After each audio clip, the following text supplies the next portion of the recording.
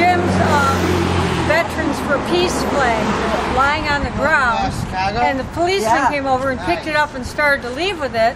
And Tim went over and put his arm on the police hand on the policeman's arm and said, "Excuse me, but this is our flag."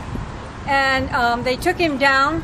Now They accused him of uh, vi- of uh, disorderly conduct. The other way. And um, that, when I arrived, they were just stuffing him into the police car, and he was going, "But I just wanted to tell you it was my flag." Yeah, just, um, So uh, Tim is um, a gentleman who's been with Progressives in Action and Move On movement for many years.